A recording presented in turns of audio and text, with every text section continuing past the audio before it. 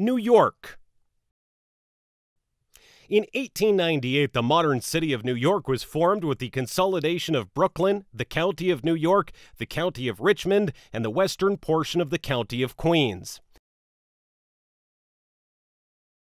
The opening of the subway in 1904, first built as separate private systems, helped bind the new city together. Throughout the first half of the 20th century, the city became a world center for industry, commerce, and communication. New York increasingly became the national capital for tourism and entertainment. Grand hotels were built for the upscale visitors. New York's theater district gradually moved northward during this half century from the Bowery up Broadway through Union Square and Madison Square, settling around Times Square at the end of the 19th century.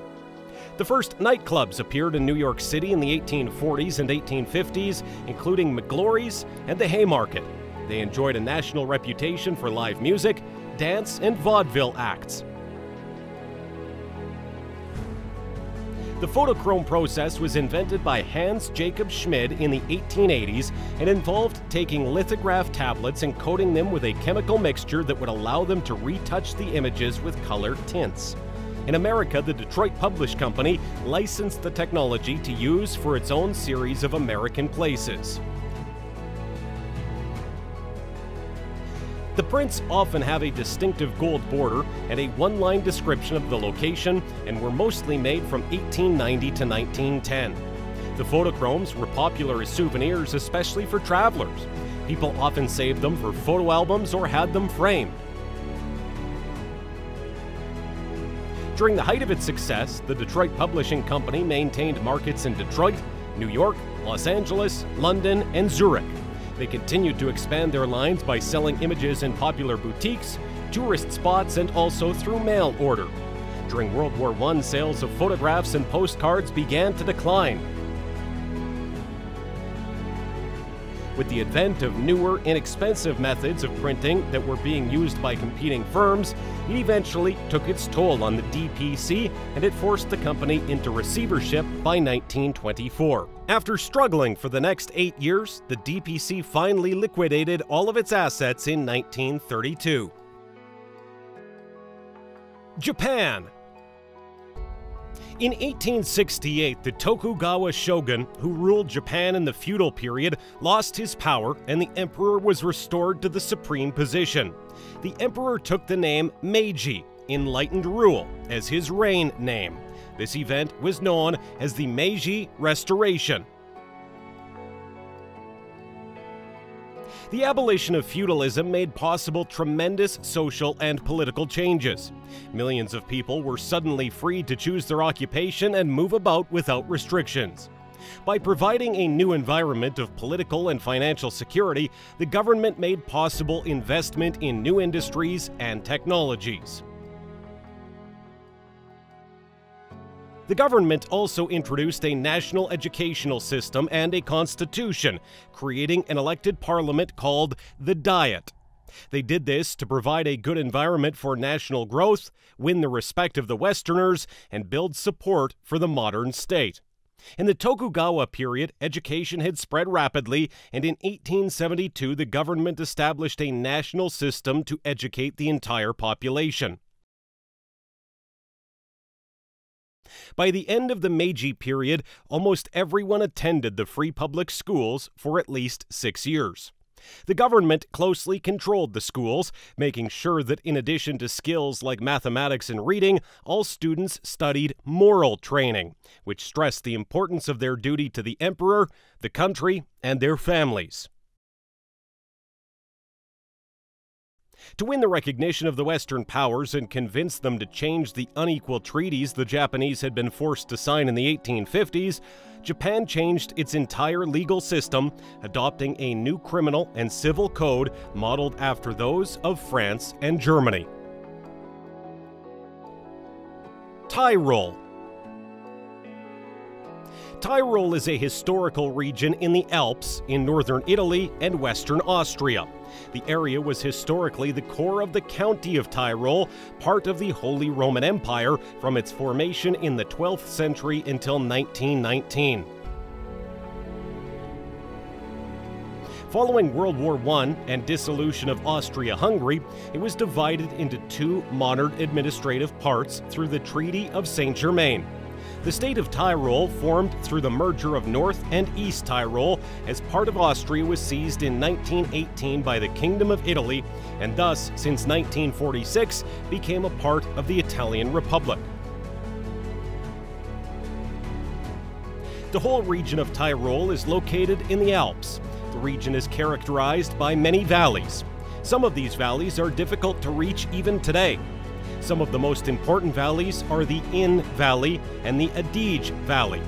A large part of the population and five of the largest cities of Tyrol lie in these valleys. For centuries, the region has been known for transit trade. The most important trade route across the Alps, namely the Brenner route, traverses the whole of Tyrol and is regarded as a connecting link between the Italian and German speaking areas.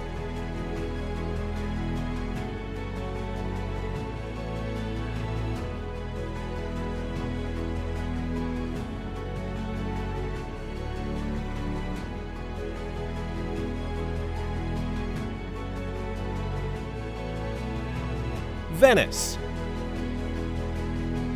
Venice is a city in northeastern Italy and the capital of the Veneto region. It is on a group of 118 small islands that are separated by canals and linked by over 400 bridges. The construction of Venice started in the 5th century AD after the fall of the Roman Empire when refugees from the mainland fled to the islands in the lagoon. Soon there were so many of them that they needed more space, so they drove wooden poles deep into the clay beneath the ground.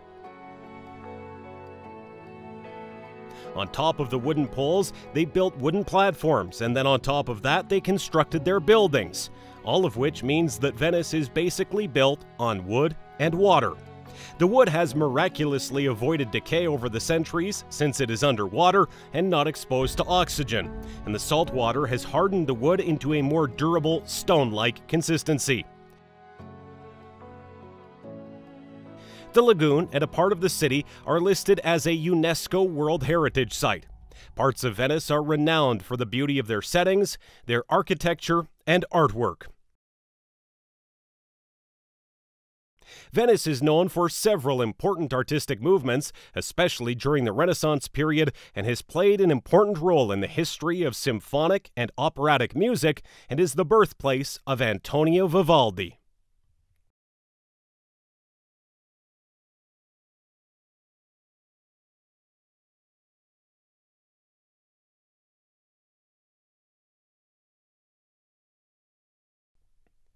Constantinople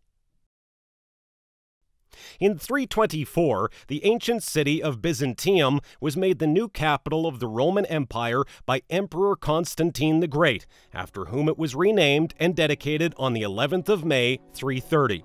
From the mid 5th century to the early 13th century, Constantinople was the largest and wealthiest city in Europe. The city became famous for its architectural masterpieces. The University of Constantinople was founded in the 5th century and contained artistic and literary treasures before it was sacked in 1204 and 1453, including its vast imperial library, which contained the remnants of the Library of Alexandria. Constantinople was famed for its massive and complex defenses. The Theodosian walls consisted of a double wall lying about two kilometers to the west of the first wall and a moat with palisades in front. This formidable complex of defenses was one of the most sophisticated of antiquity. The city was built intentionally to rival Rome, and it was claimed that several elevations within its walls matched the seven hills of Rome. These rare color views of the capital of the Ottoman Empire at the close of the 19th century were produced using the photochrome process. In a way, these are the waning days of the Ottoman Empire in color. The views feature the Bayezid Mosque, Yeni Cami, the Fountain of Sultan Ahmed III, the Galata Bridge, Eyüp Cemetery, and the gate to the Ministry of War, the Golden Horn, and the people who lived in the city. Constantinople would be officially renamed Istanbul 40 years later in 1930. France. The century after the fall of Napoleon I, France was politically unstable. Every head of state from 1814 to 1873 spent part of his life in exile. Every regime was the target of assassination attempts of a frequency that put Spanish and Russian politics in the shade. Even in peaceful times, governments changed every few months. In less peaceful times, political deaths, imprisonments, and deportations are literally incalculable. France was no longer the dominant power it had been before 1814, but it played a major role in European economics, culture, diplomacy, and military affairs.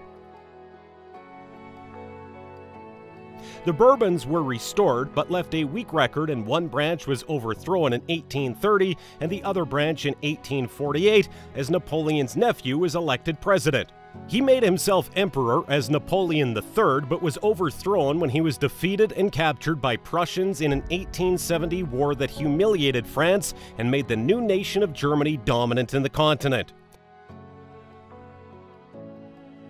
The Third Republic was established, but the possibility of a return to monarchy remained into the 1880s. The French built up an empire, especially in Africa and Indochina. The economy was strong with a good railway system. The arrival of the Rothschild banking family of France in 1812 guaranteed the role of Paris alongside London as a major center of international finance.